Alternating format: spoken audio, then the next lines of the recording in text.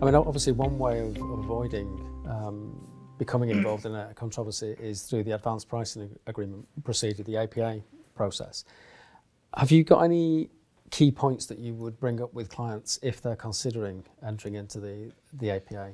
Yeah, I, I uh, totally believe in APAs. I got my start in transfer pricing at the U.S. Advanced Pricing Agreement Program when they called it that. Uh, and then uh, uh, I think it's very effective, but it's not for every issue.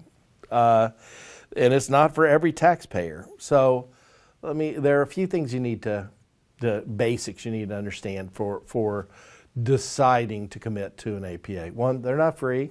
Uh, they, uh, they, the math has to work out that the cost of pursuing and the outcome achieved under an APA over the long term has to be better than the cost of regular documentation, the cost and the probability of going through exam and or all the controversy and the outcome under under that regular approach. So if you if you can't do the math and come out that you're better for you know for an APA, then don't do it. The other big factors are everybody's looking for certainty. Companies like to plan, uh, and transfer pricing can be a real obstacle to that planning.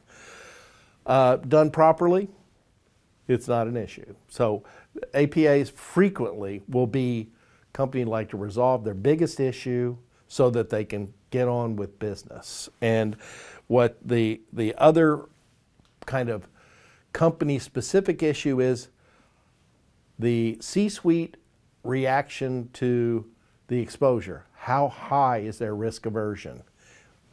Some companies seem to embrace risk, others not so much. So that is also a big factor. There are there this is costly, it is distracting, but only for a period of time. The possibility is that transfer pricing without an APA can also be very distracting and never ending. So that, that usually is how, how the discussion goes when you're talking to a, to a client about an APA. Yeah, no, no, that, that sounds very familiar.